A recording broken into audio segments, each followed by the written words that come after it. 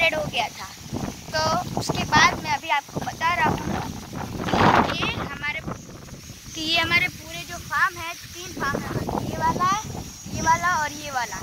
उसका सारा पानी इस जगह पे इकट्ठा होता है और हम इसको गुजराती में पानियारी बोलते हैं। आपने सुना होगा कहीं पर आप, आप अगर फार्म में रहते हो